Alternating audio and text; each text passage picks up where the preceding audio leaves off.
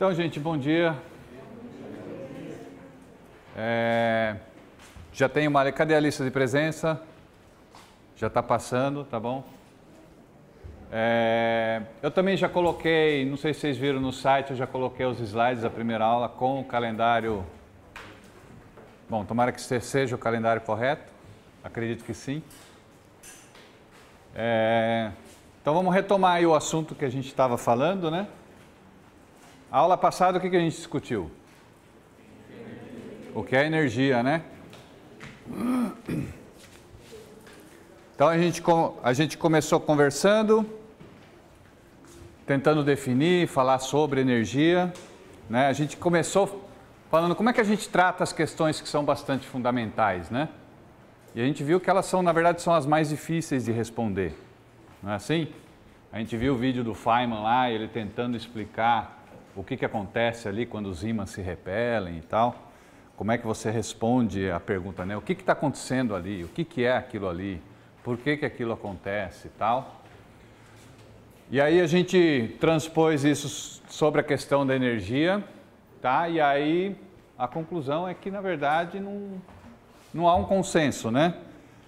A, física, a ciência, mas principalmente a física, consegue tratar, a questão da energia central para a física, ela consegue tratar muito bem, tem modelos muito bons, mas na hora de responder a pergunta, o que, que é energia afinal?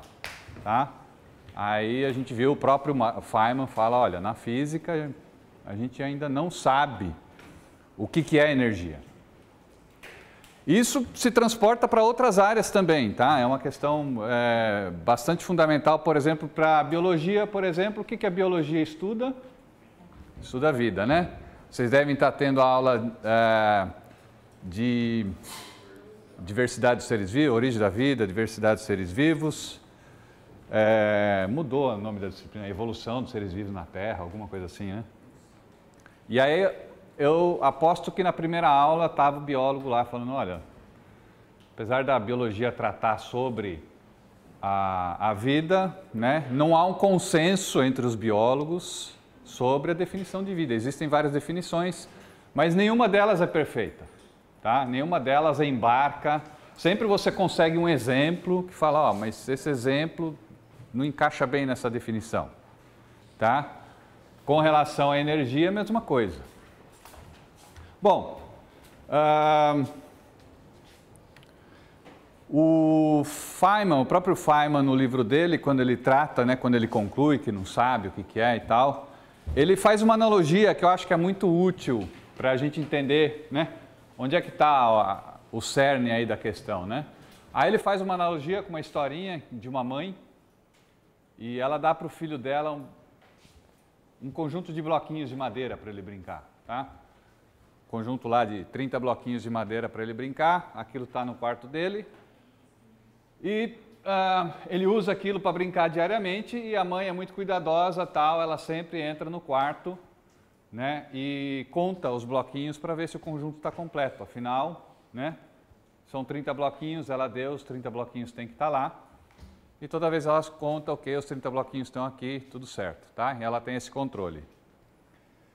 É... Né? Ela vasculha lá o quarto todo e não sei o quê. Só que aí o filho dela tem uma caixinha. E ah, tem uma regra, o filho tem uma regra que a mãe não pode olhar o que tem dentro da caixinha. Tá? E aí, de vez em quando, ele coloca alguns bloquinhos dentro daquela caixinha. E a mãe obedece à vontade do filho, tá? então ela conta, ah, nota que tem bloquinhos faltando, ela vasculha o quarto todo, Bom, só pode estar dentro da, da caixinha, certo? Mas ela não pode abrir para ver o que está lá. Mas a mãe é uma cientista muito cuidadosa, né? os bloquinhos são idênticos e tal. Aí ela sabe o peso do bloquinho, ela sabe o peso da caixinha, e aí ela mede, vai lá e mede o peso da caixinha do jeito que ele está, e ela percebe uma diferença. Tá? E aí ela percebe que a diferença é um múltiplo de 3 de bloquinhos e é justamente os três bloquinhos que estavam faltando. Ela, ah, então, pode entrar. Bom, enquanto isso, vamos retomar a, a conversa, então, é, sobre os bloquinhos, né? Então, a mãe, ela conta toda vez e aquilo está dentro da caixinha, e ela percebe que a variação do peso da caixinha é um múltiplo de três bloquinhos, que eram os três bloquinhos que estavam faltando. Logo ela viu, ah, né, eu tenho os 27 bloquinhos fora, os outros três devem estar lá dentro, porque eu sei pela manifestação, né, uma das manifestações do bloquinho é o, é o peso. Eles têm massa, então eles também se manifestam com o peso, e eu consigo, pela variação de peso, identificar que aqueles três bloquinhos estão dentro da caixinha. Mas não é só isso, tá? Às vezes o filho também, né, vai entrar no banho e aí ela vai contar os bloquinhos depois do banho, né? E tá faltando lá os bloquinhos. E a água é turva, ela não pode ver lá dentro e tal. Quer dizer, ele conta essa historinha, a gente tem que ir junto com a analogia do Feynman, tá certo? E aí ela não tem como, tá faltando os bloquinhos e ela precisa saber se tal, se não tá. Mas ela também é uma boa cientista e ela sabe que os bloquinhos têm um volume específico. Tá? Ela mede lá a aresta, calcula o volume. E foi ela que preparou o banho para o filho dela, ela sabe o nível da água, tá certo? E aí ela mede se os bloquinhos estão lá dentro, o nível da água, é... o nível da água variou. Né? Eu tenho até um, um esquema aqui que mostra. Ela pode identificar então os bloquinhos pela manifestação, pela variação do peso ou na banheira, se eles estão na, na banheira, né, se os bloquinhos estão lá dentro, eles ocupam um volume e aquele volume aumenta. Tá? E aí ela sabe que aquele volume que aumentou é o múltiplo lá dos três bloquinhos que estão faltando. Tá? E assim, ela parte do princípio que o número de bloquinhos que está ali nunca muda, tá? E pela manifestação, às vezes, às vezes como peso, às vezes como variação de volume, ela consegue dar conta de que realmente isso ocorre e aquilo, o número de bloquinhos se conserva, tá? Aí o que, que o Feynman diz? Ele tra transporta isso para a questão da energia. Aí ele fala com a energia é a mesma coisa. É, a gente sabe que existe alguma coisa que a gente não sabe muito bem o que, que é, que é energia, mas ele é quantizado, tá? ele se manifesta em bloquinhos, tá? então ele já está dentro da, da visão quântica da física, tá? que é, a física é essencialmente quântica. Então existem os bloquinhos de energia, só que a gente nunca consegue ver os bloquinhos mesmo. A gente só consegue ver as manifestações dele. Tá? Então a energia, esses bloquinhos de energia, às vezes se manifestam como energia térmica, tá? ou como energia potencial, ou como energia cinética, tá? e é como a gente está acostumado a tratar. A gente, a gente trata muito bem as manifestações de energia, os tipos de energia. Energia cinética, tá? energia é, de radiação, por exemplo, né? a própria luz tem energia. Uh, isso a gente trata muito bem. E como uma forma de energia se transforma na outra. Tá? Mas os bloquinhos em si a gente nunca vê. É essa analogia que ele faz. E a gente não sabe o que, é de fato, né, do que, é constituído uh, cada um desses bloquinhos. Tá bom? Bom, a gente não sabe o que é energia, mas a gente pode dizer, então a gente conclui que ela existe e se conserva. Tá bom? Como eu falei para vocês também no começo, é... o curso começa um pouco mais fundamental, mais filosófico, tá? A gente questiona um pouco mais, para depois a gente tratar de uma forma mais científica mesmo, tá bom? Então hoje, hoje a conversa vai ser um pouco mais. Vamos problematizar um pouco tá, a questão. O pessoal que vai lá para o bacharelado em Ciências e Humanidades, é, eles fazem muito isso, né? Vamos, vamos questionar, né? Vamos questionar se isso de fato é assim. Tá bom? A energia se conserva, gente? Será? Sim, né? Está provado isso? Pô, professor, claro que está provado. Né? Você demonstra isso em qualquer laboratório aí de mecânica, tá? Qualquer laboratório do ensino médio, tá bom? Vocês estão fazendo experimento aí com pêndulo, né? Em base experimental fizeram, né? Experimento com pêndulo. O que é o pêndulo? Né?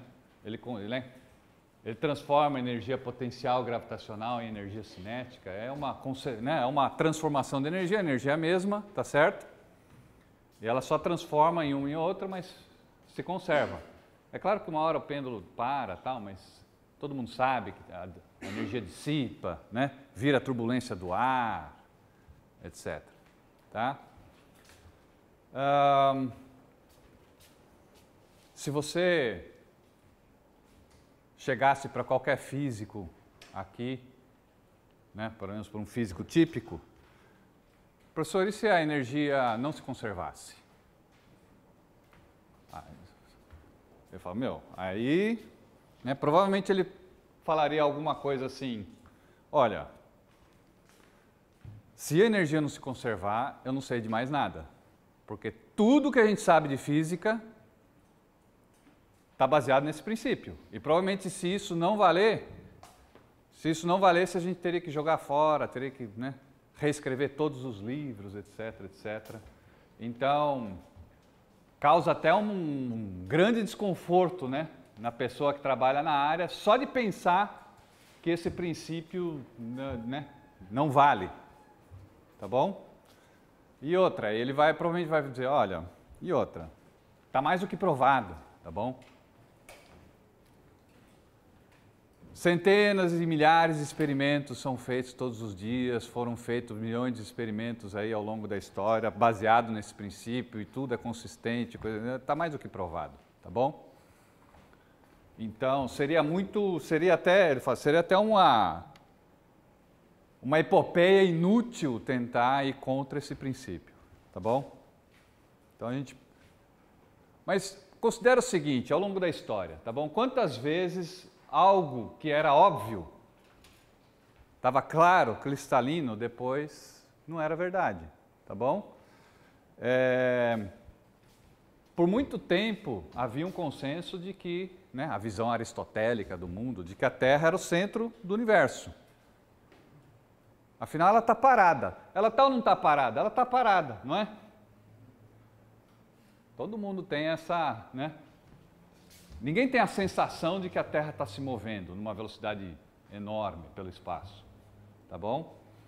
Então, por muito tempo, essa era a visão, todo mundo concordava e pare, parecia uma, uma loucura considerar algo diferente disso, tá?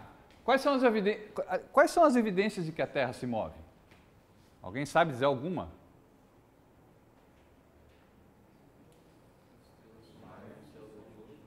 As marés? Não, as marés eu poderia dizer, a Terra está aqui, o Sol está aqui, girando e tal, e ele atrai, tá? É só trans, transportar o, o movimento para o Sol e para a Lua, etc., que aí você explica a maré do mesmo jeito e a Terra continua parada. Oi? Quem está falando? As estações do ano, mas também eu posso deixar a Terra parada, o Sol, todo o resto se move, tá? Eles explicavam as estações do ano na visão aristotélica. Oi? Os satélites? Mas os satélites conseguem verificar que a Terra se move? Eles não estão lá, ele, não, é, não são eles que se movem em volta da Terra, estão orbitando lá. Tá certo?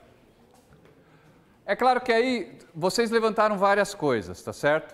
E aí essas coisas, o, o, o lance são a, é a coerência, é um modelo que você cria e que você encaixa todos esses elementos que vocês estão trazendo, tá, de uma forma coerente, tá? Mas eu acho que um experimento crucial que tenha demonstrado aí que a Terra se movimenta, ou pelo menos que ela gira, tá? foi o pêndulo de Foucault, a história do pêndulo de Foucault. Né? Que é um, aí foi um experimento muito cuidadoso, de novo pêndulo, né? que vocês fizeram aí o experimento de base experimental. É, você tem que fazer esse experimento, eles fizeram lá um grande pêndulo, né? É, se eu não me engano foi no vão livre ali da Torre Eiffel. Uh, e se você faz o experimento de uma forma cuidadosa, né, e você parte do princípio que a Terra não se move, tá? partir do momento que você tem uma oscilação num plano, não tem porquê ele oscila, passar a oscilar fora desse plano. Que tipo de força você explicaria, sendo se a Terra está imóvel, né, do movimento do pêndulo começar a se desviar desse plano? Tá? E aí, se você faz o experimento, eles fizeram o experimento e eles observaram isso. Tá? E a forma de se explicar isso é por meio da rotação da Terra. Aí a, a Terra não é mais um referencial inercial, tá bom? Como a gente diz na física. E aí você pode ter forças que aparentemente são fictícias, né? Se você parte do princípio que a Terra está imóvel e de repente o pêndulo começa a mudar o plano de oscilação, aquilo é uma força que aparece do nada. Tá? Eles chamam de forças fictícias que seria o análogo, né, se você está no sistema que gira, aquela a tal da força centrífuga, né? Uh, também é uma dessas forças que, é, se você parte do princípio que é, você está parado e você está sentindo aquela força, aí você fala, pô, é uma força fictícia. Não, mas ela tá, na verdade está lá, é explicada simplesmente pelo fato de que você não está num referencial inercial. Tá? Então, a, o experimento isolado do pêndulo de Foucault é uma, é uma evidência muito forte de que a Terra não, uh, não está parada, né? ela está girando. Mas fora isso, tá? era muito difícil você ir contra. Tá? Então foi uma série de elementos, tá? até aí vem também a própria visão é, do Galileu, né? de de Copérnico e tal, para se explicar o movimento dos astros de uma forma mais coerente, como eu falei.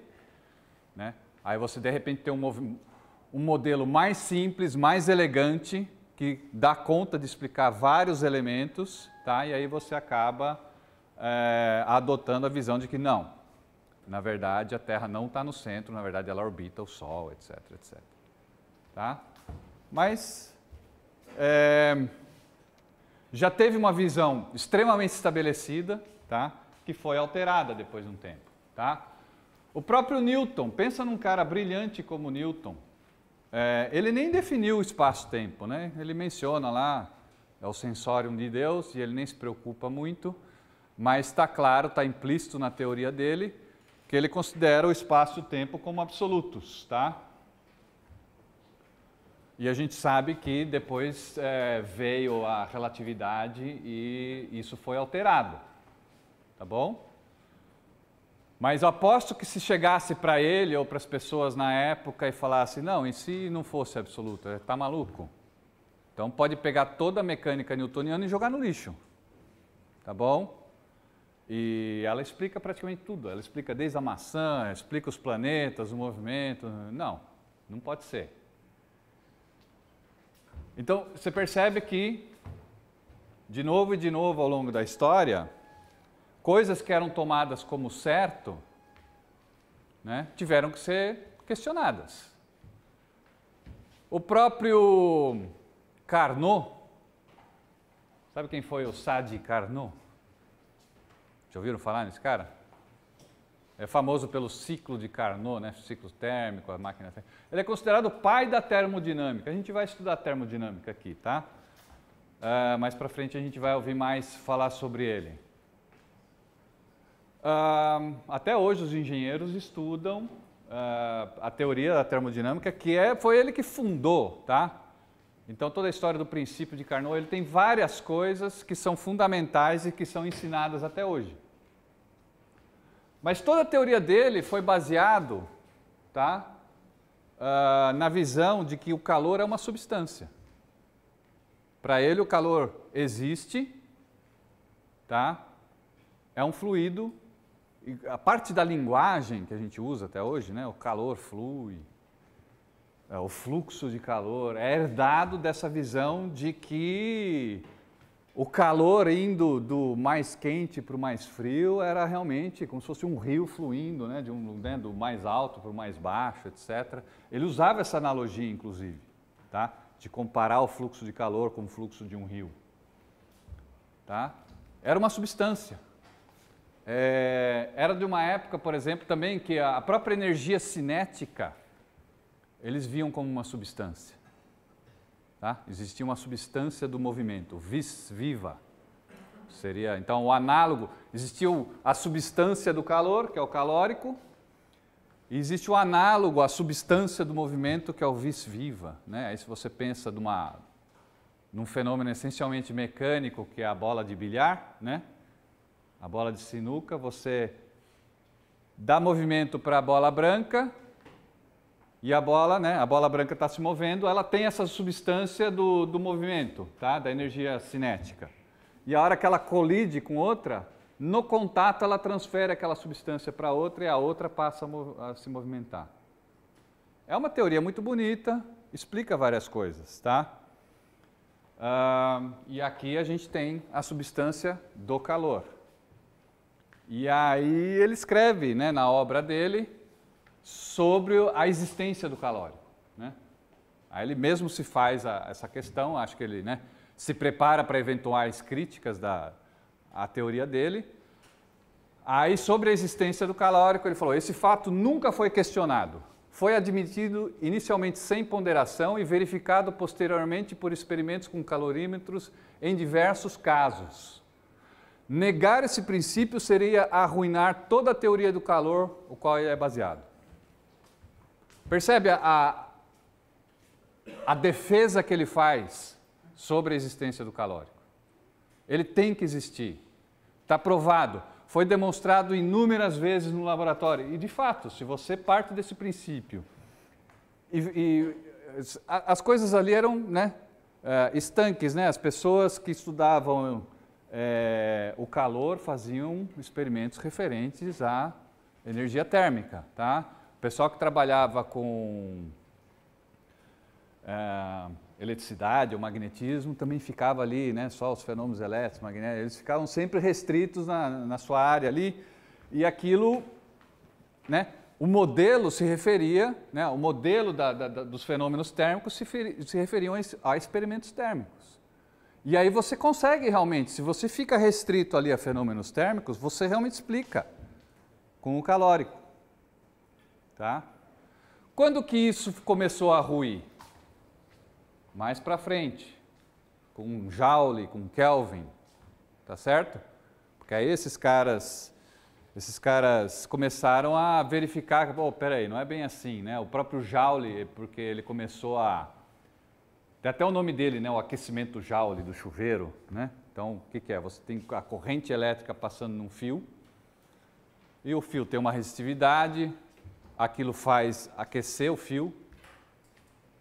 É, como é que você explica com calórico? Quer dizer, da onde veio esse fluido do calor? Meu sistema estava todo gelado, tá certo? Aí eu tenho uma pilha aqui, um fio aqui, ele começa a aquecer. De onde apareceu? Aí, eles, aí certos experimentos começam a não ser consistentes com essa visão. Aí eles começam a questionar, tá bom? E agora, simplesmente a conservação não é mais a conservação do calórico ou a conservação do vis viva, que era o fluido do movimento. Não, não, a gente sabe que uma coisa pode se transformar na outra, a energia química das baterias e tal, tá? A gente sabe que uma coisa pode se transformar na outra, tá bom? Uh, então eles subiram de nível e falaram, não, existe uma outra coisa chamada energia, ela se manifesta de várias formas e ela, né, uma forma pode se converter na outra, mas aqui em cima tudo se conserva, né? E agora a gente tem essa mesma esse mesmo sentimento com relação à energia. Tá bom? Mas o que, que a gente aprende? Tá? A mesma coisa, por exemplo, se a gente fala sobre a conservação de massa. Aquela famosa o, famoso princípio de Lavoisier, né? Nada se perde, nada se cria, tudo se transforma. Tá? Hoje em dia, a mesma frase é falada num outro contexto. Tá? Mas o que, que o Lavoisier estava preocupado em dizer é, é massa, né? Ele, ele, era químico, né? Então ele estava falando de reações químicas. Né? Você pode ter reações químicas, substâncias transformando em outras, às vezes uma dessas substâncias é gasosa, mas se você toma cuidado de dar conta de todos os reagentes, todos os produtos, você vai ver que está tudo ali. A massa se conserva, isso é conservação de massa. Ah, isso estabeleceu algo muito importante na química que é a estequiometria, usada até hoje. É sempre assim? Hoje em dia sabe-se que não. Há algumas reações que a gente chama hoje em dia de reações nucleares, onde você pode converter massa em energia e vice-versa. Então você pode perder massa numa, numa reação. A gente também vai ver isso e esse é o princípio que está por trás da energia nuclear. Tá? Então, uh, nem sempre a massa se conserva numa reação. Percebe? Então, de novo, algo que estabelecido, provado, inúmeros experimentos, tal. Uh, cuidado, você vai topar com alguma coisa lá na frente, tá? Bom, eu acho que daí, a partir daí, é, deveria ficar, por isso que assim, por isso que a questão uh, de você pensar na ciência sob o ponto de vista filosófico e histórico é importante. Você tem que aprender com as experiências passadas para saber, para poder entender melhor qual é a situação atual da ciência. Tá bom? Então, se a gente olha essas situações passadas, o que, que a gente aprende? Nunca tome tá, algum princípio, algum conceito como verdade, como estabelecido. Que aí você cristaliza a ciência e pode, isso pode ser prejudicial. Tá? É, as pessoas acham que isso é bom, conservadorismo, porque isso preserva, tá? Preserva a ciência contra, uh, contra certos princípios que não são tão bem estabelecidos. Não, não isso aqui está bem estabelecido, tá certo? Ninguém mexe. Tá? Mas também você não pode ter esse sentimento de que isso é uma verdade absoluta e isso nunca pode mudar. São coisas diferentes. Tá bom? Mas é, se a pessoa não tem muita noção do que aconteceu no passado, ela pode agir dessa forma no presente, da mesma forma que o Carnot estava, a postura do Carnot com relação ao calor. Não, ninguém pode questionar isso. Tá? Bom, só, só para ilustrar um pouquinho, é, eu tenho, existe a revista Science, né? Então, isso aqui saiu em junho de 2011 na Science. Para quem não sabe, a Science, junto com a Nature, são as revistas científicas mais conceituadas que existem. Tá? É muito difícil publicar algo lá. Muitos tentam, né? acho que poucos professores aqui da UFABC têm artigos na Science, você conta nos dedos tal. É muito difícil. Tá? Então, só supostamente artigos. Ali é a a cereja do bolo da, da ciência, etc. Tá bom? E lá na Science tem a seção de, de cartas, né, que os leitores podem mandar e tal. E aí tem a carta desse cara aqui. E aí ele fala, né, de um de um pequeno erro aí da, da Science. Aí ele falou, né, o título da notícia da semana, né, da Science, o título era, né, tá em inglês aqui, At long last, Gravity Probe B Satellite proves Einstein right. Tá? Então, o experimento do Gravity Probe B uh, demorou, mas a hora que saiu o resultado, basicamente a notícia era essa, né? a hora que saiu o resultado, demonstrou de novo que Einstein estava correto. Né? Quantas vezes a gente não lê isso? Né? De novo, os experimentos mostram que Einstein estava correto, que a teoria da relatividade é verdade e tal. Tá? Aí ele fala assim, ó, I find myself frequently repeating to students and the public that science doesn't prove theories. Scientific measurements can only disprove theories or be consistent with them. O que, que ele está dizendo? Eu, como educador, o cara é um professor de universidade, eu fico repetindo para os estudos, olha, a ciência nunca prova uma teoria correta. Tá? ela consegue apenas provar se uma teoria é incorreta. Tá bom? Como eu citei o exemplo do pêndulo de Foucault, meu, você não consegue explicar esse comportamento do pêndulo com a Terra parada. Tá? Então você tem que, uh, né, temos que suplantar, né, temos que enterrar esse modelo da Terra imóvel e ter um modelo melhor. Tá? Então esse, esse é o valor de um experimento bem feito. Ele pode é, mostrar que uma teoria é incorreta. Tá? Agora, por outro lado, se está de acordo com o modelo, com a teoria, é só isso que o experimento diz. Ele está de acordo. Ele é, corrobora. Mas daí a provar que a, a ciência é verdade, né, que, a, que a teoria é verdadeira, é total, uma outra história, tá bom? Então isso, isso, é, isso é clássico. Se você vai para a teoria, uh, para a filosofia da ciência, isso é o básico do básico. É a primeira, uma das primeiras coisas que você aprende, tá? Mas uh, a gente tem um, uma, um overlap muito fraco, né? Parece que a, a, filosofia da ciência fica lá entre os filósofos e você tem os cientistas aqui que sabem muito pouco sobre a filosofia da ciência. E a proposta um pouco dessa universidade é isso, tá? A gente uh, ter uma visão interdisciplinar e uh, conectar um pouco mais. E, a, e a aula de hoje é sobre isso, tá? Então começa. Existem vários autores famosos da filosofia da ciência que tratam sobre isso né? sobre a, a relação entre uma teoria, uma teoria científica e verdade, e provas de teoria, vários. Mas talvez o mais célebre é o Popper, né? ele fala de ah, que a ciência tem que ser considerada como né, a ciência estabelecida hoje é um conjunto de verdades provisórias.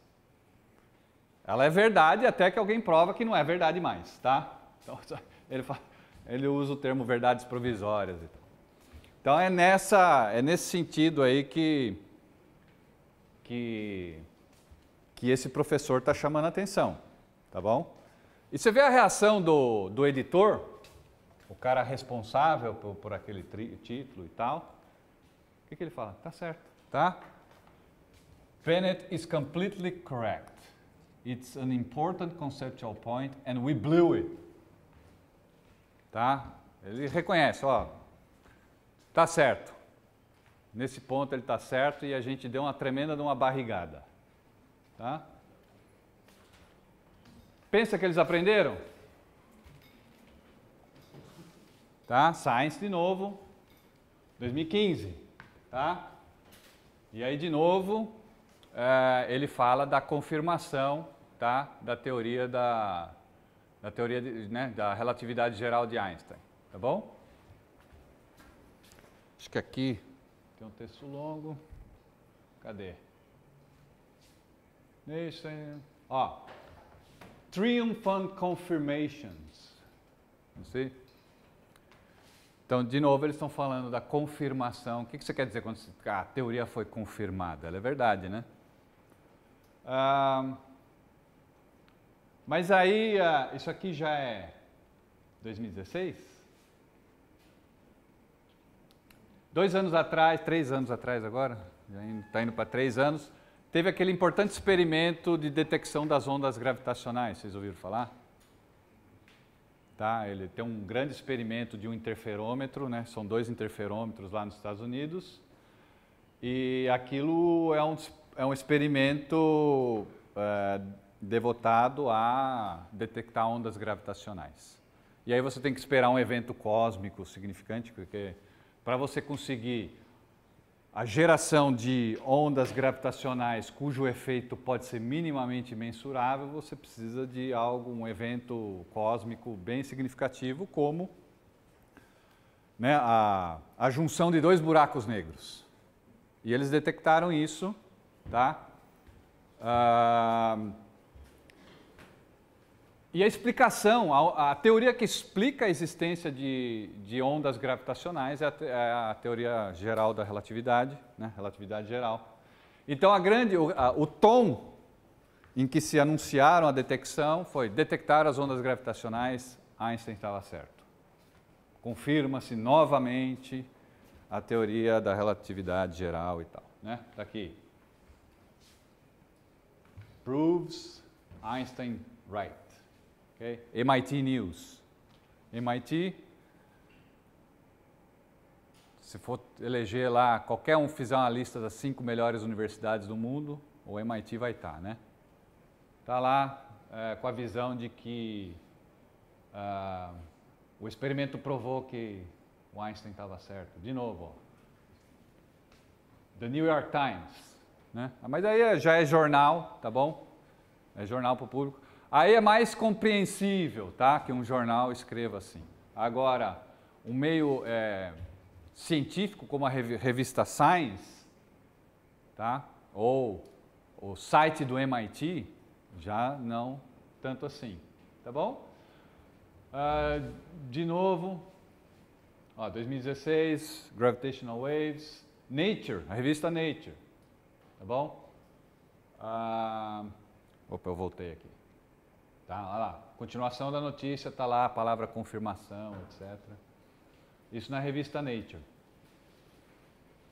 Tá bom? Aí de novo, né? Mas professor, faz um século que eles estão fazendo um monte de experimento e todos os experimentos comprovam a teoria. Mas lembra, né, gente? Lembra das experiências. A gente sempre tem que estar aberto, tá bom? Muito desse, de, desse discurso. Ah, mas isso já foi comprovado, tá? É, é, é um abuso de linguagem, tá bom? Muito você pode interpretar é o que explica, por exemplo, a, a reação do editor, lá da revista Science. Tão logo o cara reclamou, ele falou, é, o cara está certo, tá? A gente tem que reconhecer. Mas eles vão lá e fazem de novo. O que, que explica isso? É um abuso de linguagem, tá? É, é a mesma coisa de falar, pô, meu peso, né? Eu falo uma frase, meu peso é 80 quilos. Aí vem lá um físico e fala, ó, oh, na verdade é sua massa, tá? Porque peso é dado em newtons. Aí você fala, tá bom, você está certo, tá? E aí, dali uma semana, eu estou falando que meu peso é 80 quilos, tá bom? É, é um pouco isso, a gente abusa da linguagem, tá bom? Ah, tá. E, e muita gente fala, meu, qual é o, qual é o problema de eu falar que é, meu peso é 80? Todo mundo entende, na comunicação isso é efetivo, tá bom? O problema é que em certas partes pode causar problema. E, e, e, e o problema é esse, que a pessoa, o problema é que uma, uma boa parte da comunidade pode estar convencido que peso efetivamente se dá em quilogramas. E isso pode entrar nos livros de engenharia, ou, tá, isso pode é, criar certas consequências que podem é, ser deletérias no futuro. Tá? Então, é, você pode falar, ah, professor, mas foi provado várias vezes tal. Ó, lembra do argumento do Carnot sobre o calórico, tá bom? E no fim estava errado, tá? E tem uma história recente sobre um prêmio Nobel recente que eu acho que é de longe, é, eu acho que é de longe o prêmio Nobel mais significativo que a gente teve nos últimos anos. Todo ano tem prêmio Nobel, Kim Fiz, todo mundo fica lá feliz e tal. Uh, são trabalhos muito legais, mas eu acho que o Prêmio Nobel 2011 de Química, uh, para mim, eu acho o mais interessante de todos. E ele pega muito nesse ponto. Tá? E é um prêmio dado para uh, a área de cristalografia, que na verdade é uma área de física, mais de física do que de química. Tá? O fato dele ter ganho o Prêmio Nobel de Química mostra um pouco uh, esse tipo de visão, entendeu? É uma visão, mostra um pouco que a, a ciência é mais um empreendimento humano do que simplesmente descobrir verdades que estão lá ocultas e o cientista vai lá e tira o véu e de repente ela está lá, né? Não, na verdade a ciência é mais sobre a visão que os cientistas têm sobre o mundo, tá? Uh, e aí, uh, é sobre cristalografia e cristalografia trata sobre a ordem em que os elementos de um, de um sólido se organizam. Tá? Uh, e aí, com a consolidação né, da, da, visão atomística no mundo, que é recente também, tá bom? A gente tem que levar em conta que a, a visão de que existe uma coisa chamada energia e ela se conserva, ela é razoavelmente recente. Pensa, Joule e Kelvin, que ajudaram a estabelecer essa visão, é fim do século XIX, né? entrando ali no século XX. Pou, poucos anos depois começou a mecânica quântica. Foi um pouco antes, foi na véspera da mecânica quântica essa, o estabelecimento desse conceito de energia, que é algo é recente, tá? A mesma coisa a visão atomística, tá? Ah, né? Aquela coisa, a matéria é contínua ou ela é feita de elementos discretos, etc. Tá?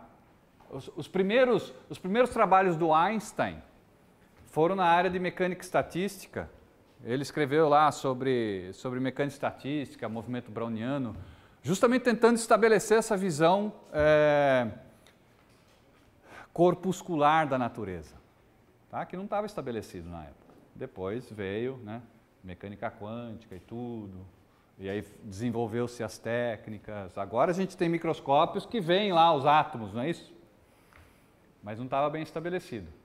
E a, a teoria da cristalografia, que antes era uma coisa de geologia, né? Eles iam lá, repartiam o geodo, aí olhavam lá o, os cristais de quartzo todo facetados, aí lapidar o diamante, etc. Uh, eram essas as evidências de que, de que os cristais tinham algum ordenamento implícito. Mas como você explica isso? Tá? Mais tarde falou, não, a matéria é composta por átomos, íons, e eles têm que estar ali dispostos de alguma forma. É ordenado ou não é? Tá? E aí eles viram que nos cristais é bem ordenado, então aí tem aquela visão de que o cristal ele pode ser, uh, né, o material sólido ele pode ser uma, uma fase cristalina, uma fase mais amorfa, onde está mais desordenado, etc.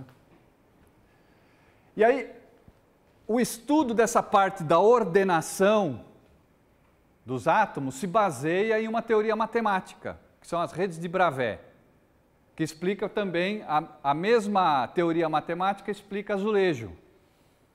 Que azulejo também é a disposição de elementos né, de uma forma ordenada sobre um espaço bidimensional. Né? Aí você pensa que um plano é um espaço matemático bidimensional. Um sólido é tridimensional e você tem que colocar aqueles elementos de uma forma ordenada. Tá bom? E essa teoria matemática prevê certas geometrias possíveis. Você pode ter um azulejo que é retangular, tá bom? A canjiquinha tal. Você pode ter o azulejo quadrado. Você pode ter o azulejo triangular, aí você tem uma rede hexagonal, que nem o favo de mel e tal. Mas se você fizer o azulejo como um pentágono regular, e tentar cobrir a parede, você vai ver que você não vai conseguir. Você vai deixar espaços vazios. Tá? Então, em teoria de ladrilhagem, o pentágono regular, a simetria 5, é uma simetria é proibida. Tá? Matematicamente você não preenche, então ninguém nunca vai fazer um azulejo em formato de pentágono. Vai, vai procurar, vocês vão achar um azulejo em formato de pentágono. Tá bom? Uh, e aí isso se transporta também para uma questão tridimensional, é uma teoria bem fundamentada, eles partem, e isso fica o, o quão complicado quanto se queira, tá bom? Uh, cristalografia é uma grande área de, de estudo. Uh, mas por 80 anos, essa teoria da rede Bravais explicou todos os cristais. Tá? E aí era assim, ou o material era cristalino e seguia uma das redes de Bravais, ou ele era amorfo, ele não tinha um ordenamento bem definido, tá bom? 80 anos, você acha o cristal, acha, ele é esse tipo de rede Bravais, cataloga, ele entra naquela gavetinha desse tipo de rede Bravais, tal, não sei o quê. Aí o Daniel Shetman, em 83, posso estar errado ali um pouco no ano, tá? Ele achou um cristal que não seguia nenhum desses padrões. Tá bom? Fez um... Porque assim, a primeira coisa, falando em conservação de energia, aí eu vou para o laboratório, meu, o resultado do, do meu experimento uh, vai contra a conservação de energia. O que, que eu faço? É muito, muito, muito provável que eu fiz o experimento errado, tá certo? Então eu vou, volto no laboratório. Onde está o erro? Percebe? E você invariavelmente está, ah, exceto uma chance muito pequenininha, a gente sempre tem que deixar essa portinha aberta, tá bom? Mas é quase certo de que há algo, algo de errado no experimento. Aí ele foi lá, um... aí a grande diferença é o quê? Ele é um grande cientista, entendeu? Ele sabia muito bem o que ele estava fazendo. Então ele fez todos os procedimentos possíveis para verificar ah, de novo e de novo e de novo possíveis erros. Pode ser isso? Testa? Não, não é isso. Pode ser isso? Testa? Também não é isso. E aí o que acontece com uma comunidade que age como Carnot? Um cristal? Contra a teoria das redes de Bravé? Que explicou todos os cristais por 80 anos. Você está maluco. Tá? Então ele tentou publicar o trabalho, o editor não deixa, ó, não, aqui você não vai publicar isso, tá bom? e aí a história é longa, tá bom? Eu peço, né, se vocês tiverem curiosidade para ver, mas aí é trabalho de formiguinha, entendeu? Conversando com os colegas, ele consegue convencer um outro colega, eles uh, vão tentando, eles tentam submeter para uma outra revista, tá? Dá sorte, você vê que a ciência é feita por pessoas, dá sorte de cair num editor que está preparado para aquilo. Então, às vezes, você tem um editor que não age como Carnot, que ele tem um pouco de noção de que a história da ciência caminhou, às vezes, de uma forma diferente, que você tem que questionar tudo, tá bom? Então, ele já tinha, tido, ele já tinha sido exposto a outras coisas com relação à teoria de Bravais, à teoria é muito interessante que é, envolve até o, um amigo do Stephen Hawking, que é o Roger Penrose. Vocês sabem? Quem, todo mundo aqui conhece Stephen Hawking, né? Tá bom? Assistiram o filme lá do Stephen Hawking? Tá? E aí, se você lê os livros do Stephen Hawking, ele sempre menciona o, o Roger Penrose que no filme é um professor dele, foi orientador dele e tal, é, né, trabalhou junto é, em teoria de buraco negro e tal. E o cara é um matemático e ele também traba trabalhou nessa questão de ladrilhagem, tá bom? E ele trabalhou com essa questão de fazer um ladrilho com simetria 5. E aí essas duas histórias, a história do Daniel Shetman, né, desse novo tipo de cristal, que tinha essa simetria é, né, pentagonal, tá bom? Se juntou com a história da, do, do Roger Penrose, que também estava desenvolvendo uma teoria de ladrilhagem, tá? É, com essa simetria pentagonal. E esse editor, sabe, aí ele percebeu uma conexão lá e, e aí conseguiu um primeiro trabalho ser publicado, etc.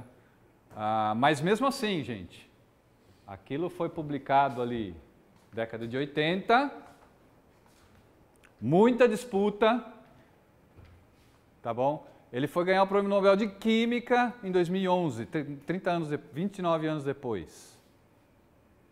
Tá bom? E outra, é, com muita resistência da comunidade científica. O Linus Pauling, já ouviram falar do Linus Pauling? O Linus Pauling ganhou duas vezes o Prêmio Nobel. Só para ter uma ideia, o calibre do cara.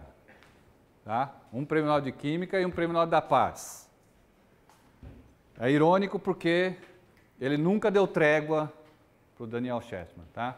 E ele chegou a falar, porque na verdade depois é, o prêmio Nobel de Química foi porque ele descobriu essa nova classe de materiais conhecida como quase cristais. Deram esse nome, né? O Daniel Shetman odeia esse nome, porque ele falou, não, são cristais, não são quase cristais, são cristais. Tá? E todo o trabalho dele era tentando demonstrar isso. Mas pegou o nome de quase cristais, tá? porque todo o debate né, ficou ali, eles classificando como materiais diferentes, quase cristais, etc. O Linus Pauling chegou a falar, olha, não existe essa coisa de quase cristais, o que existe são quase cientistas tá? se referindo a esse tipo, era nesse nível a, a, a disputa. Então, são pessoas, aí que está, são pessoas que provavelmente são bons cientistas, mas têm uma visão é, estática da ciência, tá? Muito estática da ciência, vendo o agora. E o agora é a energia se conserva, é verdade. Tá? a teoria da relatividade geral está provada, é verdade. Tá bom? Os cristais são explicados pela rede de Bravais, isso está provado, é verdade. Se você tem essa postura estática, cristalizada, a coisa não muda. Você não dá espaço né, para a próxima revolução ou para a próxima mudança, que a gente fala mudança de paradigma, etc. Uh, por isso é útil você sempre olhar, por isso estudar filosofia e história da ciência é sempre muito importante, porque a hora que você olha o passado, né, você consegue entender muito melhor o momento que você está vivendo. Isso vale, a gente vive repetindo isso para situação política, né? Uh, mas isso vale também para a ciência.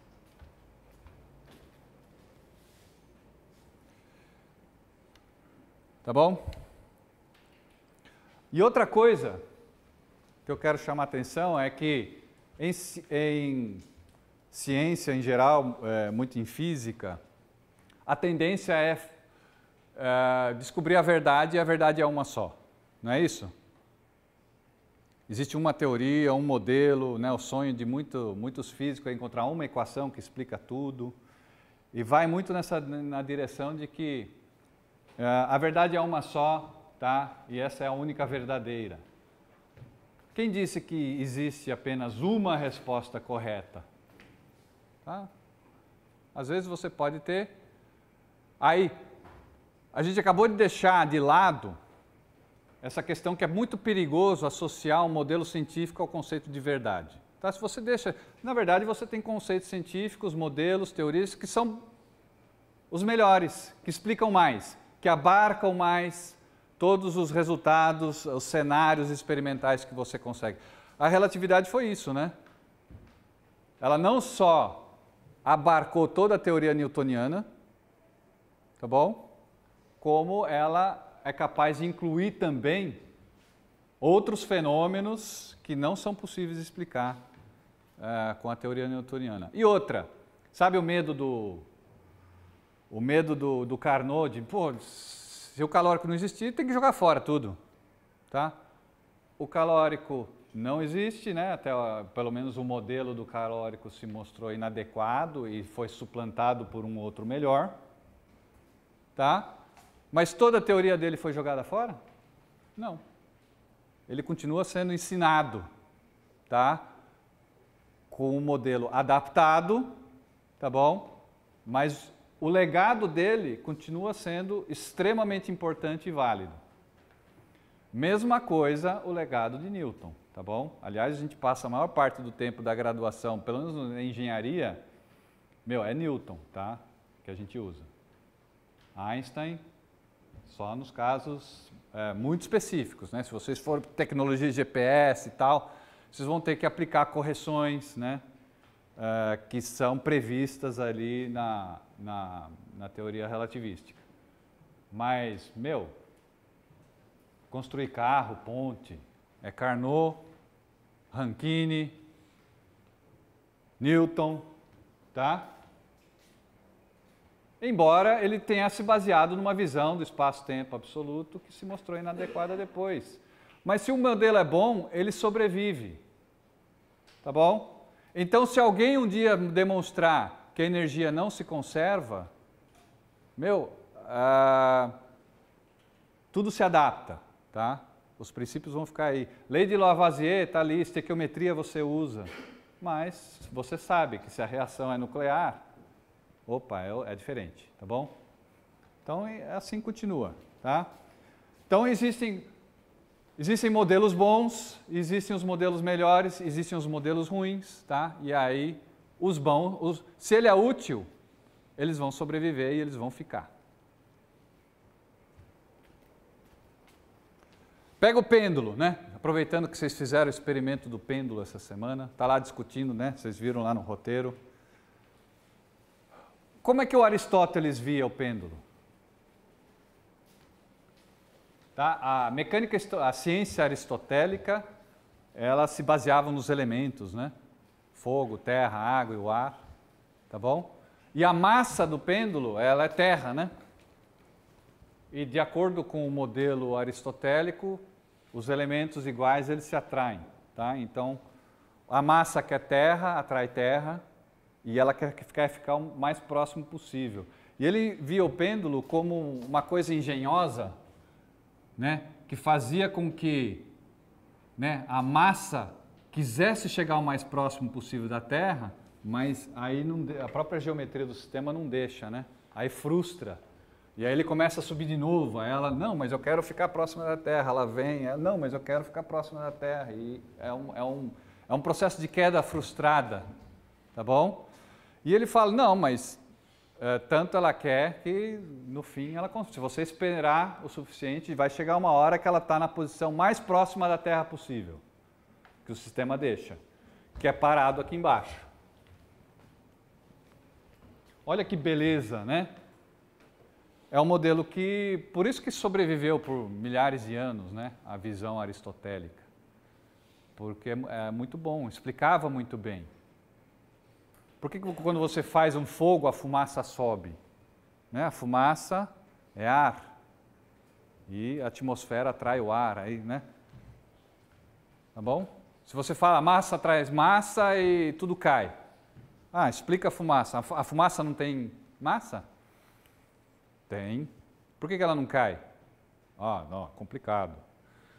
Ah, atmosfera, empuxo, tal. Tá vendo? Mas ah, o modelo do Aristóteles era mais elegante. Tá? A fumaça é o elemento ar, ar atrai ar, ele só está se distribuindo dentro do seu elemento. Ah, o rio corre para o mar, gravidade, energia potencial, não sei o quê. O rio é água, o mar é água. A água atrai água, logo o rio vai para o mar. Muito mais simples, elegante. Né?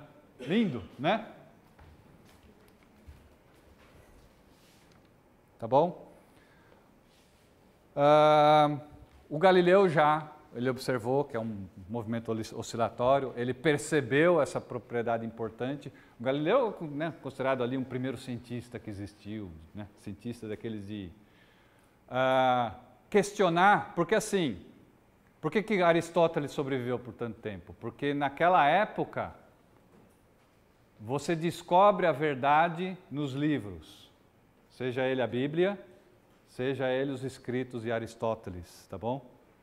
Então, é, os, os, sábios, né, o conhecimento estava nas pessoas que estudavam os livros. Ah, e aí o, o Galileu começa a quebrar isso aí. Não, o conhecimento também vem da observação, de experimentação, aí as bolas lá na Torre de Pisa, etc. Tá? E ele experimentando, observando, ele percebeu lá a propriedade interessante do pêndulo que fez com que por 200 anos ou mais o pêndulo fosse a melhor tecnologia para se medir a passagem do tempo, o relógio de pêndulo e tal.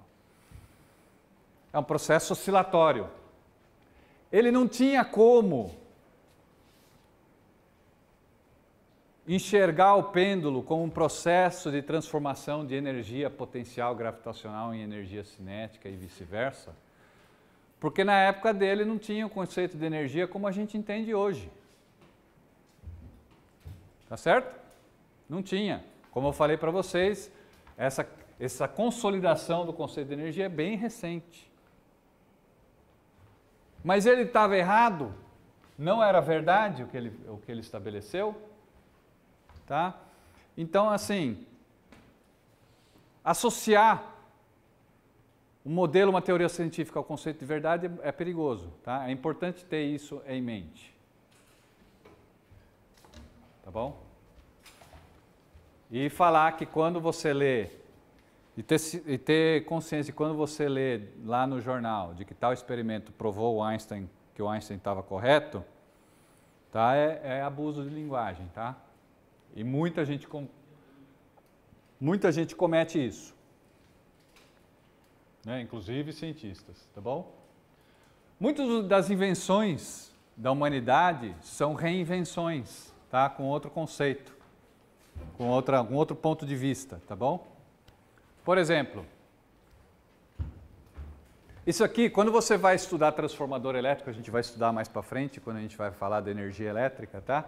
Mas só adiantando um pouco para vocês, tá? Quando você vai estudar um transformador elétrico, é, um, você vai ver um desenho parecido com esse, né? Você tem um circuito primário, um circuito secundário, tem uns enrolamentos ao redor de um núcleo ferro-magnético, tá bom?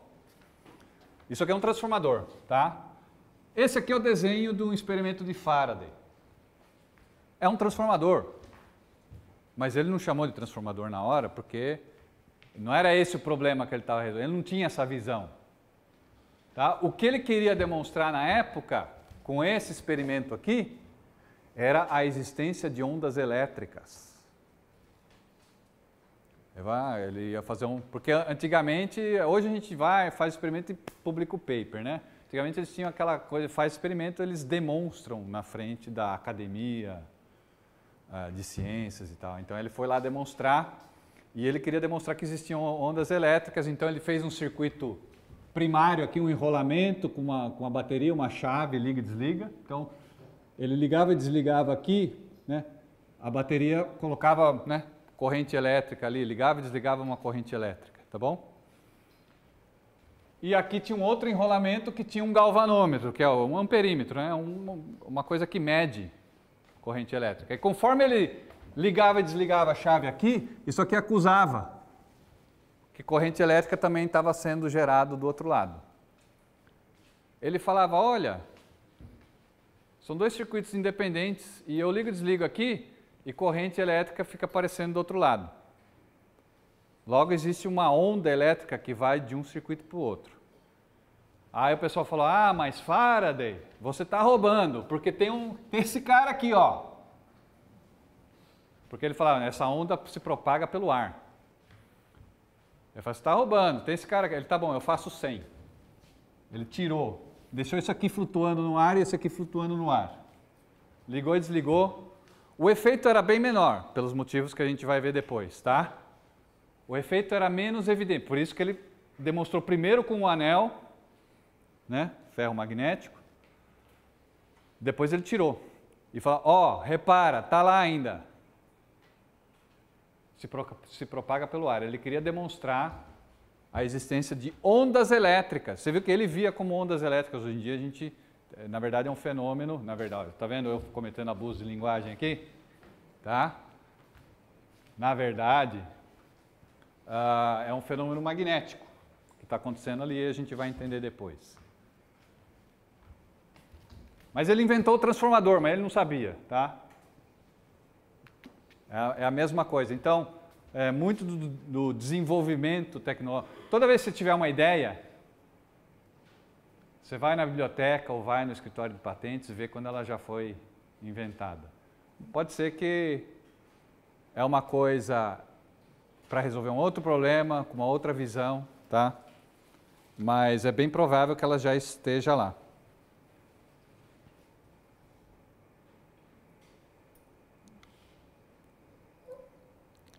Tá bom?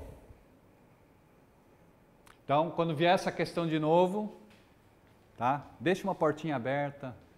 Até hoje, todos os experimentos são consistentes com a hipótese da conservação da energia. Você sempre vai ver uma outra discussão. Aí os, os cientistas da ciência são, eles pegam isso como demonstração de estudo, né? Você vai ver um ou outro cientista fazendo barulho ali, mas se ele vai ser, com a maior parte dos casos, que ele faz, faz, faz barulho, depois ele é desacreditado, ou se ele é o Daniel Shetman, que ele faz, faz, faz, faz barulho, e no fim todo mundo fala, não, de fato ele está certo. É assim que funciona a ciência, tá? Vamos, agora a gente vai mudar de marcha, deixar essa questão aí o que é energia, ela se conserva, mas ela se conserva de fato ou não e tal. É, vamos começar a tratar aí. Então a gente discutiu sobre a energia, o conceito de energia, agora vamos discutir de onde vem a energia. Tá bom? Vamos tá ali, discussões no quadro, no quadro negro. Gente, vamos tentar levantar aí um pouco com vocês Quais são as fontes de energia que a gente conhece? Térmico, solar, né? Vamos colocar aqui solar. Fontes, né? Vou ligar a luz aqui que fica melhor. Obrigado. Fontes de energia.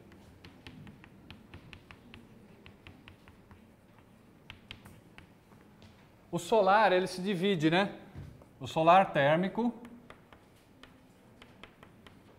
e o solar fotovoltaico. Não é isso? O térmico são aquelas placas para aquecer água para chuveiro. Aquilo é puramente térmico, né? Tem uma placa com, né? Que tem lá uma, uma camada que absorve bastante a energia luminosa do Sol e aquilo se transforma em calor e tem uma serpentina que, que faz com que a, a água que passa por ali ela adquira aquela energia térmica né, que tem ali na placa. Não é isso? O que mais que a gente usa como fonte de energia?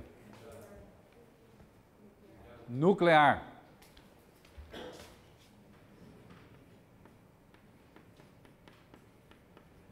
Que mais? Eólica.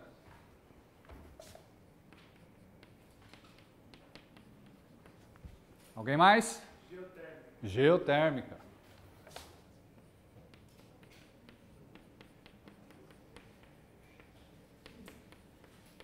que mais? Maremotriz. Maremotriz?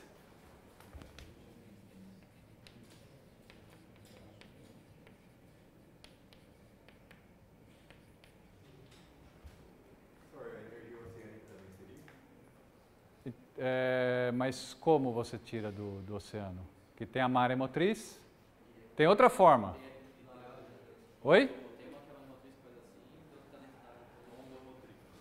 Tem, é, você pode aproveitar a maré e você pode aproveitar a onda, né? Ondas. Tinha alguém lá atrás com a mão levantada? Quem era? Hidráulica, né? Dos rios. É isso que quer dizer, né? Tem a.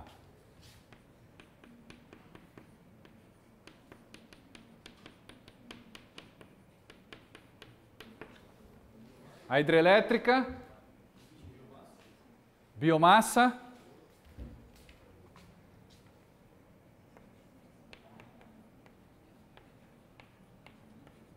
que se divide em porque assim, o Brasil é exceção, né? Vocês sabem, né? A gente tem baseado em hidrelétrica, mas o mundo gera energia elétrica como?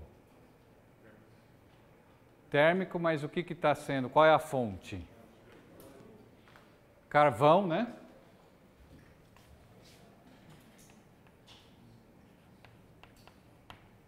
Tem toda a questão do petróleo. Tá bom? E tem os. Então, isso aqui são, como, são, são fósseis, né? Tá bom? Gás. Gás natural. Está revolucionando lá nos Estados Unidos. Oi? A energia química. O que, o que você chamaria assim de, de química? Uma bateria, né? Tá, vamos deixar aqui. Baterias.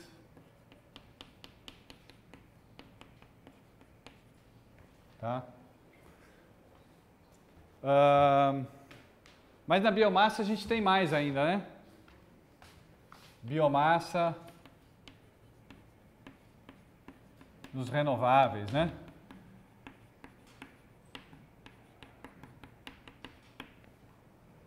Gente pode queimar etanol também, né? Tá bom? Biodiesel. Mais alguma? Eletromotriz? É, a gente está falando de fonte, né? Coisa que você pega na natureza e usa para gerar. Normalmente aqui está muito no contexto de, de, gerar energia elétrica, né? Embora a fonte também seja, na hora que a gente anda de carro, a gente está usando, né? Tá, e a eletricidade seria uma segunda etapa. Você pega energia elétrica e transforma em movimento, alguma coisa assim. Hoje em dia aí você tem toda a questão dos carros híbridos, carros elétricos, aí entra na questão das baterias aqui. Tá? Mas é um caso especial que a gente já vai debater por que é especial. Acho que é isso, né? Tá bom? Vamos fazer um exercício aqui. Conhece o bloco B ou não? Aqui do lado, né? Bloco B. 11 andares, tá bom?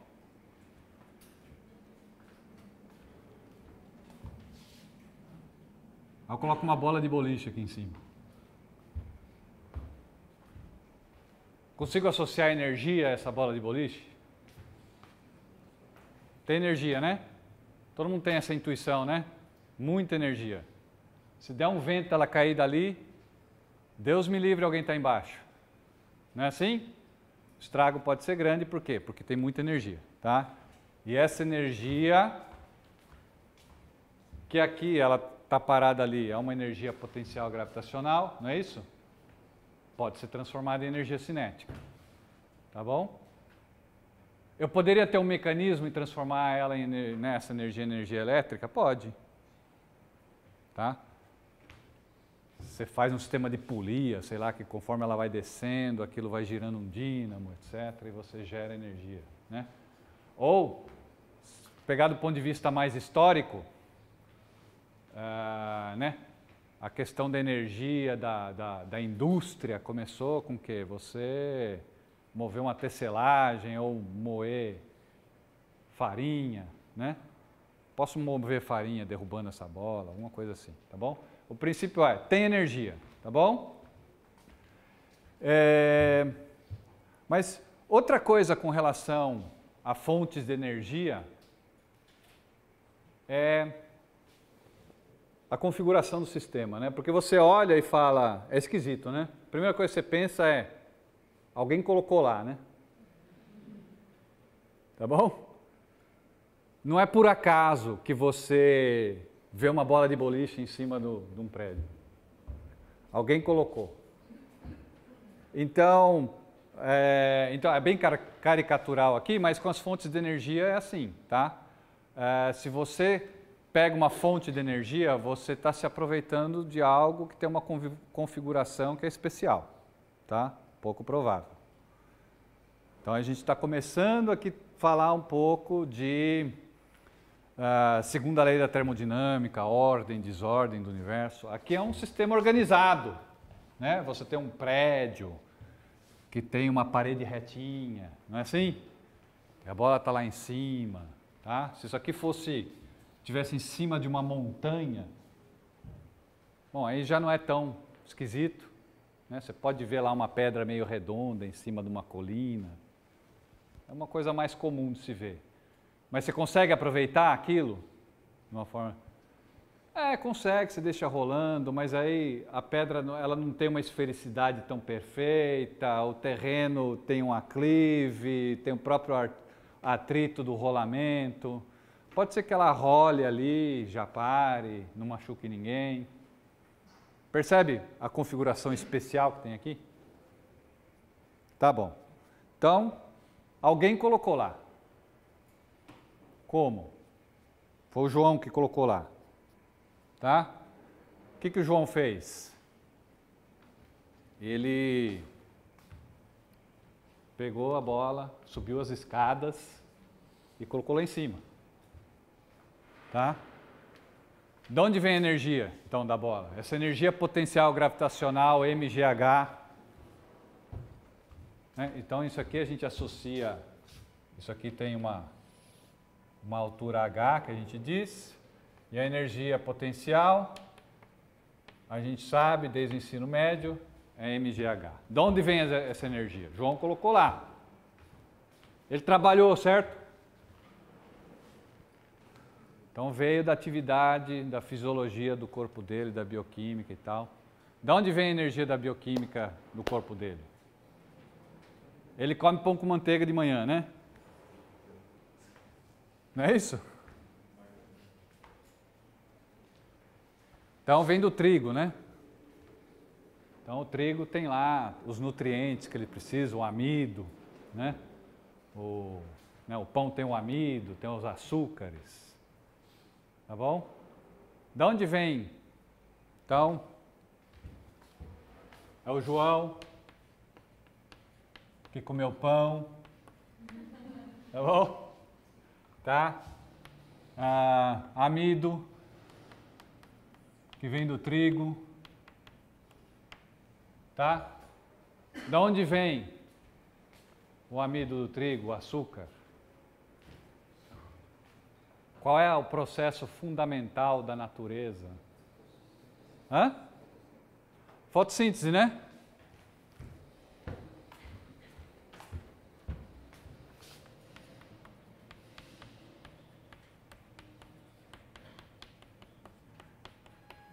O que, que a fotossíntese faz? Pega água mais gás carbônico, luz, e aí faz aquela molécula maravilhosa, né? Uma molécula grande, mais oxigênio, né? E solta o oxigênio para a gente. Vem de lá. Então, precisa de luz. Sem luz não rola, né? Fotossíntese. Da onde vem a luz? Do sol.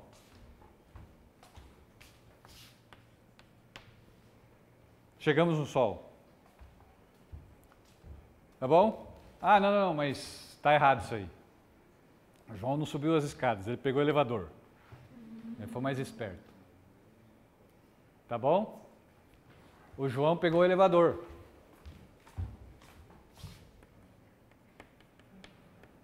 Tá bom? Quem que sobe o elevador? Quem que faz a força? Motor elétrico, né?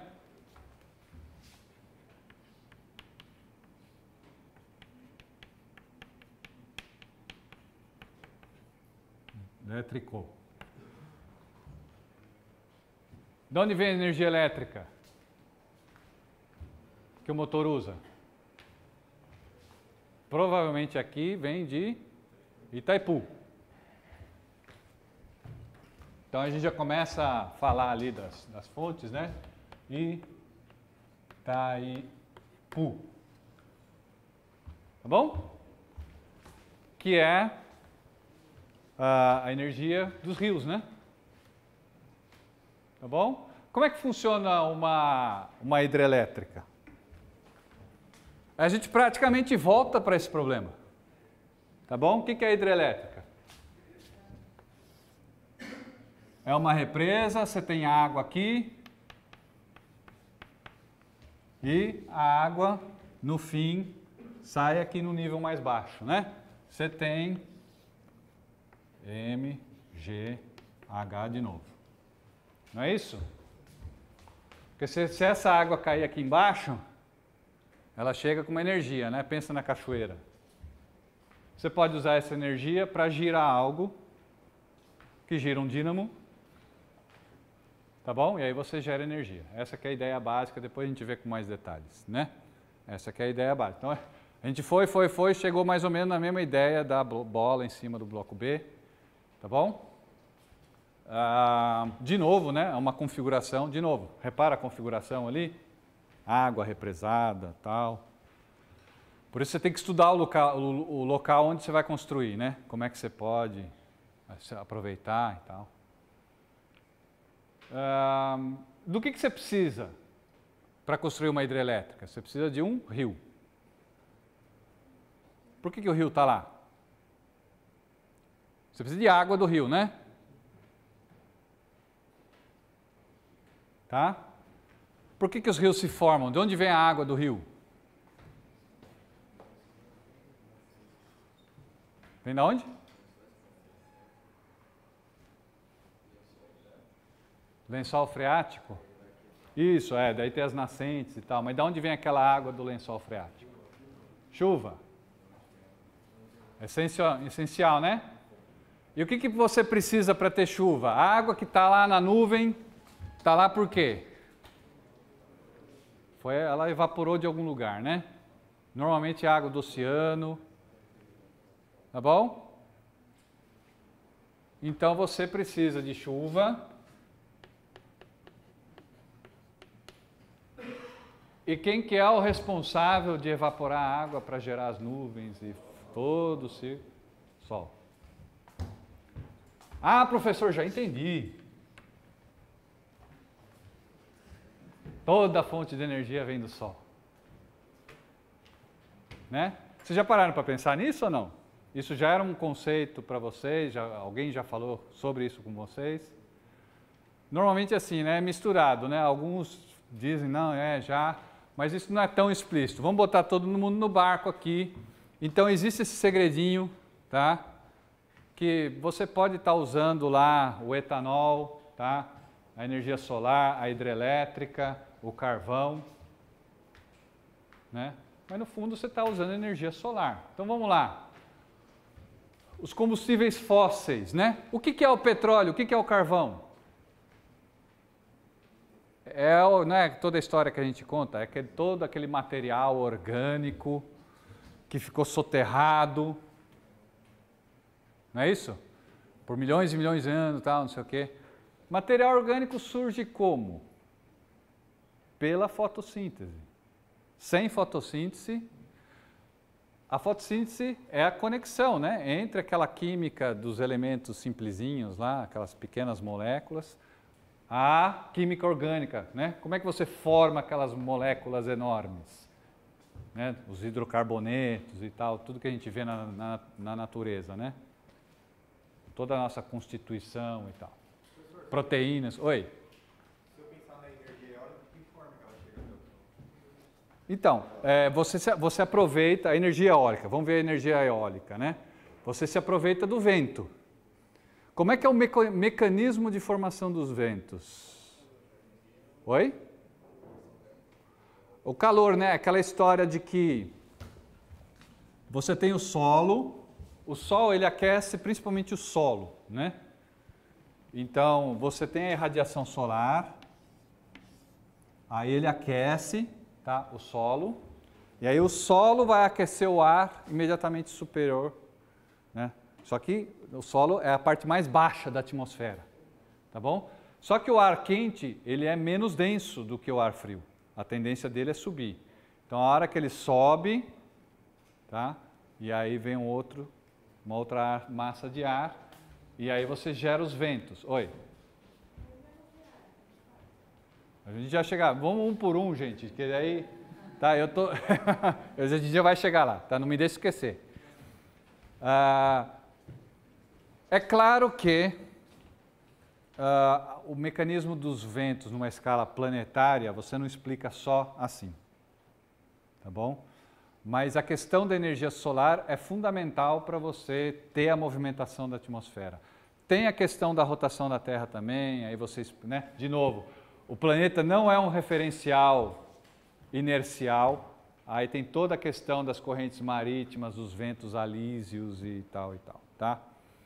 Uh, então a questão é sempre uh, mais, um pouco mais complexa, não é tão simples, tá bom? Mas uh, basicamente o eólico sem sol não rola, tá? Então ó, a eólica a gente verificou, tá ok, tá? Questão dos combustíveis fósseis, ok também, né? Combustíveis fósseis, sem fotossíntese, não existe nem milhões de anos atrás, tá?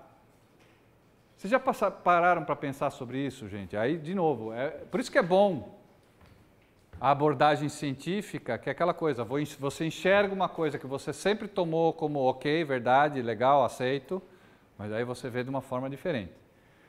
Quando você põe a gasolina, você está usando energia solar de milhões e milhões de anos atrás, tá bom? A energia foi lá, teve lá um, né, um organismo vivo que realizou fotossíntese, tá? Tem lá os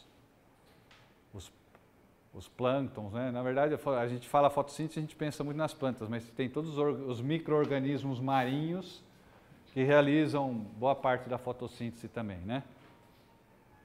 E aí ele armazenou, aquela energia solar ficou armazenada na forma de uh, biomassa, né, fossilizada, por milhões de anos. Agora você usa. Aí aí que está o cerne do problema que o pessoal fala da pegada de carbono, porque você está falando, meu, uma coisa que estava quietinha, você está né, jogando de novo no sistema agora. Ao passo que a biomassa, né, uma coisa que se consolidou mês passado, você já joga de volta, que se consolida de novo, por isso que eles falam que é renovável. Tá bom? Mas fósseis é, no fundo, energia solar. E é, isso inclui o carvão, né, o petróleo e o gás, tá bom? E essas fontes são responsáveis aí por, por maior parte, sei lá, né, não sei o número exato, isso vai variando um pouco também ao longo dos anos, das décadas, mas o fato é que a maior parte das usinas que geram energia elétrica no mundo geram queimando carvão, né, nos Estados Unidos muito gás agora, tá? Então, a geração de energia elétrica no mundo é muito baseado nos combustíveis fósseis. Então, solar vem do sol, vem solar é do sol por definição, tá bom? Então isso aqui, ok, ok, aqui também, né? Hidrelétrica a gente viu que também, tá bom? Uh, aí Vamos na questão da energia nuclear. De novo, a gente não pode se apaixonar, né? Por um modelo. De repente, nossa, descobri um modelo tão lindo para explicar. Toda energia que a gente usa no mundo vem do Sol. Aí chega alguém e fala, ah, lamento estragar, né? Porque energia nuclear não é assim, né? O que, que é energia nuclear? Você está se aproveitando da energia, da radiação liberada por certos ele elementos químicos. Tá? Então você vai lá, ele está presente na, na crosta terrestre, tá bom? Uh, e você pega esses elementos químicos, que são lá elementos da tabela periódica, são mais pesados, eles são instáveis, e por isso eles liberam radiação. Essa radiação liberada é, você pode transformar em energia térmica. Tá? Esse é o princípio das, uh, das usinas nucleares. O princípio de funcionamento de uma energia nuclear não é muito diferente do princípio de funcionamento de uma usina a carvão. É basicamente a mesma máquina térmica que eles giram ali. O lance é da onde vem essa energia térmica, tá bom? Normalmente nas, uh, nas usinas a carvão é a queima do próprio carvão ou a queima do gás. Nas nucleares é a própria radiação desse elemento químico pesado que é transformado em energia térmica. Tá? E aí, como não é uma queima, não tem o, o problema da poluição gerada pela queima desses combustíveis fósseis. Você tem lá um elemento que é radioativo e está gerando. Tá? Essa que é a grande propaganda da energia limpa uh, da energia nuclear. Tá? Uh, se ela é a solução para a geração de energia para a humanidade, tem outros aspectos aí que a gente tem que levar em conta, mas isso não é nessa aula que a gente vai tratar. Então, que pena, né? Essa aqui não. Tá bom? Mas ondas, gente, ó, vamos, vamos a gente já viu que não, mas por exemplo, ondas. Como é que as ondas surgem? Qual é o mecanismo que faz? Quem mora perto de represa ou grandes lagos sabe, né? Quando não tem vento, um espelho começa a ventar, você começa a ver as ondas capilares, né? Mas se você se venta por tempo suficiente, rapidinho você vê aquilo se transformando também em ondas de gravidade né, na superfície. Tá bom? E no mar, no fundo, é a mesma coisa. Tá bom? O vento é o grande gerador de ondas no mar. Tá? Por aí, aí também você vê a relação entre uma tempestade que, que acontece no mar e aquelas ressacas e tal que vem, acabam chegando na praia. Então, também ondas está relacionado com, né, como a gente viu o vento está uh, muito relacionado com o sol, as ondas também estão, tá? A geotérmica. A geotérmica se aproveita do fato de que se você cavar, inevitavelmente, se você cavar fundo o suficiente, você vai chegar em regiões que estão, tem bastante calor. Né? Tem bastante energia térmica. Em alguns lugares, essa, esse tanto que você precisa aí é, é, né, é menor. Né? A energia a geotérmica está mais disponível por uma configuração da crosta, enfim. Então, eh, se aproveita do fato que o núcleo da Terra ele é quente. De onde vem essa energia? Não é do Sol também, né? Tá bom? É uma outra exceção, né? Então, muito bonito tal, mas tem algumas exceções que é importante a gente ter, ter em mente. Se você for ver, se você for estudar, é, existe aquela visão de que ah, na formação do sistema solar é, tudo estava muito quente né, durante os primeiros milhões de anos e aos poucos isso foi esfriando, mas o núcleo da Terra ainda permaneceu quente desde aquela época e tal. Mas só isso não explica, tá? Então, de novo, se você usa isso como modelo e se você aplica o conhecimento que se tem sobre a ciência térmica e você faz as contas, a Terra já devia estar bem, o núcleo da Terra já devia estar bem mais frio né, do que está hoje.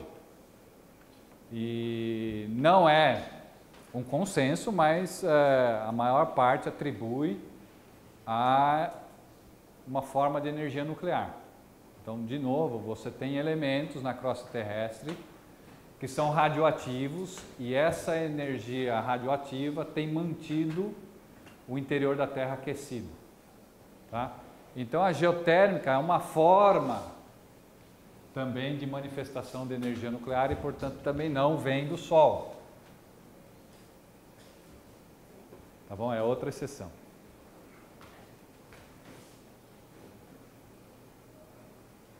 E a maré motriz?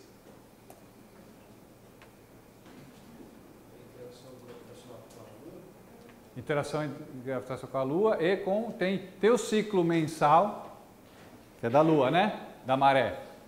Mas a maré também tem o ciclo diário, que vem da interação gravitacional com o Sol, né?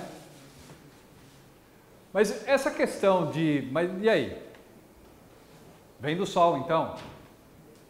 Sim ou não? Esquisito, né?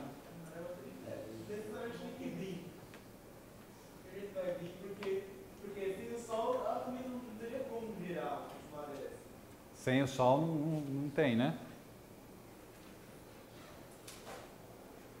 Então, mas aí eu, eu gostaria de introduzir nessa questão ah, né? como, é que a gente, como é que a gente responde isso aí? Porque eu vejo assim, é, o Sol tem que estar tá lá, tá certo? E a Lua também. Porque sem os dois você não tem maré. Mas ao mesmo tempo, dizer que a energia vem do Sol, por causa disso, vem da Lua, é, intuitivamente a gente fica meio reticente, né? Então, como é que a gente trata isso? O que está acontecendo? Você vê como que é legal a gente tentar, vamos, vamos tentar dissecar esse fenômeno e ver o que está acontecendo ali? É interessante, tá? É uma pequena jornadinha, tá? Se a gente olhar todas as outras formas de energia, elas têm uma configuração. Lembra que eu falei para você? Você vai usar uma fonte de energia, você tem uma configuração especial, tá? E você se aproveita e normalmente essa condição ela é improvável, tá? É... Então, toda vez que você se aproveita, por exemplo, eu quero me aproveitar da energia dessa bola de boliche. Eu vou lá dar um peteleco nela, ela cai. Eu degradei o sistema, né? Ele não tem mais aquela configuração. Degradou. Agora tem uma bola lá embaixo. Que é bem mais usual, né? Tem alguma coisa encostada aqui no chão, tá certo? É mais provável, né? É uma configuração mais provável. Ah, mesma coisa, então, em princípio a hidrelétrica também. A partir do momento em que a água saiu dessa condição de alta energia potencial gravitacional, girou a turbina e veio para cá, ela perdeu essa energia potencial, ela degradou. Né? O octano, lá na gasolina. Você liga o motor do carro, joga a gasolina lá, a vela queima, gera explosão, vira o quê? Gás carbônico e água, né? Se o motor está bem reguladinho, tomara que só isso, né? Ah, aquela longa molécula super legal, tá? Aparentemente super rara de encontrar no universo, tá bom? Vai lá procurar em Marte, você acha petróleo. É uma condição especial também. Você quer usar? Legal. Queimou? Já era a molécula. Você degradou. Tá bom? O vento, que eu tenho aqui. Ah, professor, e o vento? Você aproveita o, o vento. Ah, mas o próprio vento, se você for usar, você degrada de alguma forma. Só para todo mundo ver o contraste aqui. É, aqui tem uma fazenda eólica no, no mar, né? lá na Dinamarca.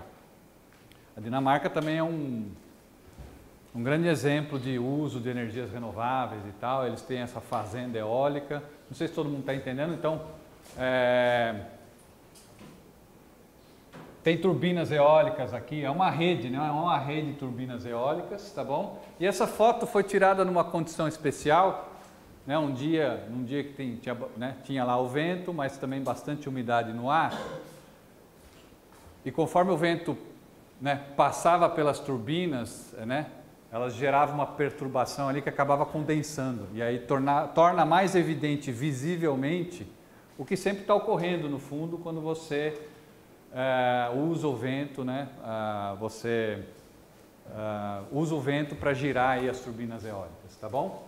Você vê que antes o fluxo é laminar, tá? basicamente laminar. A hora que ela passa pela turbina eólica, você gera turbulência.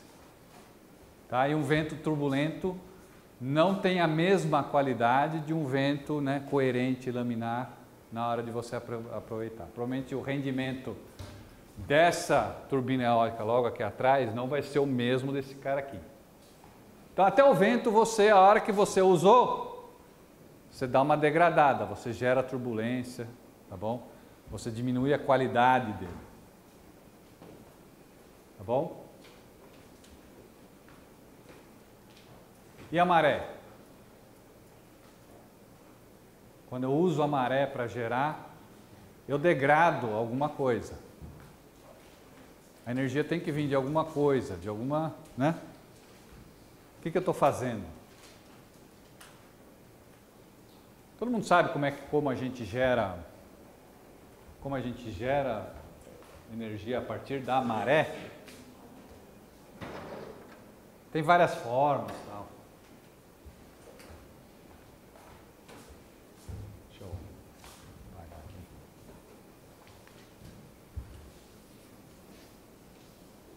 Se você tem uma baía, por exemplo, né? Aqui é, seria água, água, aqui terra, e a maré faz com que a água avance ou recue, né? Então você tem uma grande entrada de água numa região e depois, né, talvez no começo do dia ela entra, no fim do dia ela sai, tá certo? O que você pode fazer é represar isso aqui. Então, no fluxo, quando você, a água está entrando, ela obriga a passar em servo. Você pode fazer vários canais, um canal, vários canais, depende da escala, depende de onde está fazendo, tá certo? E aí não fica dif muito diferente da usina hidrelétrica. Você se aproveita do fluxo da água para girar uh, né, os geradores e gerar energia elétrica. E é legal porque você tanto aproveita quando a maré está enchendo, na hora que ela vai, ela vai ter que sair pelo mesmo lugar. Você só reverte e gira de novo. E aí você está gerando energia elétrica só com o movimento vai e vem é, da água dentro de, um, de, uma, de uma bacia, de uma, né, de uma baía aí que você faz alguma engenharia. Tá? É uma forma, tem várias formas de fazer, mas essa é uma forma. Então eu estou gerando energia e ela tem que vir de algum lugar. Algo está degradando. Até energia nuclear, né? O elemento radioativo, ele libera radiação, mas ele decai. E o fim do ciclo da vida dele é um elemento estável, que não radia mais. Então, a, a, a própria energia nuclear, você está ali, você tem a meia-vida, aquele material está degradando. Tá? E é aí que explica a geotérmica e tal. Então, tudo é às custas de algum processo que eventualmente você não aproveita mais aquilo. E a maré motriz? Se eu construir, né? Se eu fizer a humanidade depender de energia maré motriz, aí a Lua vai cair na Terra? Esquisito, né? Sabe qual é o segredo? A gente tem um ponto, as pessoas sempre reforçam que para existir a maré tem interação com a Lua, tem interação com o Sol. Mas tem um elemento que é fundamental para ter maré, que é a Terra gira. É a rotação da Terra. Tá bom? Se a Terra tivesse parada sempre em relação ao Sol, em relação à Lua, não ia ter maré. Tá bom? Aí faz sentido. Porque se você notar, a Terra gira, mas não sei se vocês sabem, mas a velocidade de rotação não é constante. Né? Existe toda uma. A ciência da geologia, eles medem isso com muita precisão, tá bom? E eles conseguem verificar que um dia nunca é igual ao outro. Por quê? Porque a, o planeta é um sistema dinâmico, ele não é tão sólido, né? Se ele fosse uma rocha sólida, aí seria bastante irregular. Mas não, né? O próprio interior da Terra, ele é líquido, né? Tem todo magma e tal. O interior mesmo ele tem um núcleo lá de ferro e tal, mas tem todo o magma que uh, tem um movimento próprio que aquilo afeta e tem o movimento dos oceanos, tá bom? O próprio movimento da atmosfera, a atmosfera é bem mais levinha, mas o movimento dos oceanos é importante. E o movimento dos oceanos vai no sentido de dissipar essa energia de rotação. Então, do próprio magma também. Então, a tendência é que a velocidade de rotação da Terra fique cada vez menor. A velocidade fica menor, tá? Os dias vão ficando maiores, mais longos. De vez em quando, isso é compensado por algum evento sísmico, porque a própria gravidade tende a compactar a Terra, né? Então, às vezes tem algum movimento sísmico que faz com que a Terra fique um pouquinho mais compacta e aí por uma questão de conservação de, movimento, de momento ela passa a girar mais, um pouquinho mais rápido de novo. Tá? Mas essa energia cinética de rotação, ela está sendo dissipada. E no fundo, a, a energia que a gente está usando aqui, quando a gente aproveita de uma energia maremotriz, é da energia cinética de rotação. É ela que está ah, sendo consumida, né, vamos dizer assim, para a geração da energia. Mas assim, se não for a, a, a usina maré motriz, a maré está acontecendo. Tá bom? Essa energia está sendo dissipada de qualquer forma. A única questão é, a gente quer aproveitar um pouco para a gente ou não? É mais ou menos essa a questão. E esse é o principal argumento a favor da energia maremotriz.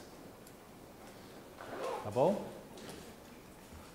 Uh, o próprio ovo, né? Você quer saber a diferença entre o ovo cozido e o ovo uh, cru? Você gira ele, né? O ovo cru ele para mais rápido. Por quê? Porque ele é todo líquido e ele dissipa essa energia mais rapidamente. Bom, gente, eu vou parar a aula por aí, tá bom? A grande lição agora dessa parte é a maior parte das fontes de energia vem de uma forma fundamental, vem do Sol, tá bom? Mas nem todas.